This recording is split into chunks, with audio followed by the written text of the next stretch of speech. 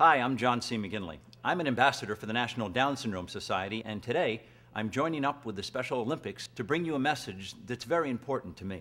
As Dr. Cox on Scrubs, you've heard me call JD many different names over the years Patricia, Pam, Helen, Billy, Nicole, Deb, Nancy, Kathleen, Mary, Loretta, and Grace.